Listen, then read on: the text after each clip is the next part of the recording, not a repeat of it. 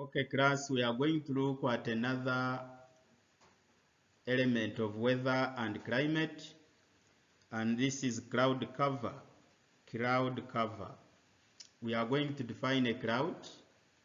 We look at types of clouds, factors affecting the formation of clouds, and maybe effects of clouds.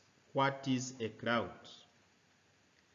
A cloud is a group of moisture droplets and ice crystals floating in atmosphere. A group of moisture droplets and ice crystals floating in atmosphere is what we call a cloud.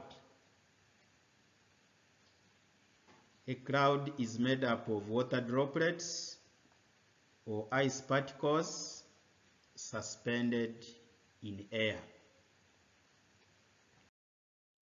We have different types of clouds and these will be grouped under different groups.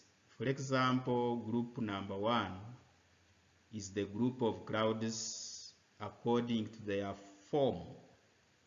Form means appearance, how they look like. Number one is stratified clouds. These are layered clouds. They have layers. They look like blankets and cover a large area. They can give large amounts of rain or snow.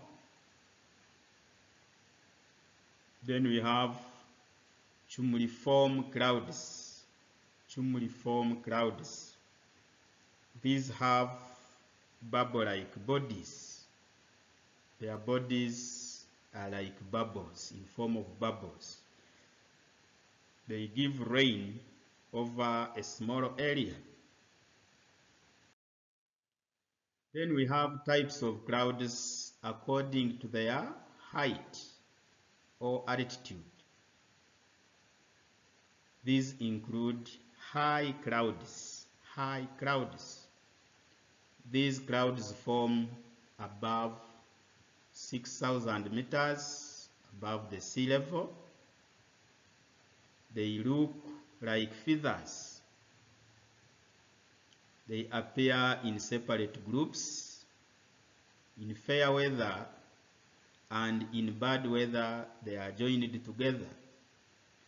In fair weather, they appear in separate groups. And in bad weather, they are joined together. The following are their examples, examples of high clouds. We have cirrus, others may read it as cirrus. We have cirrostratus, and we have cirrocumulus. Thank you.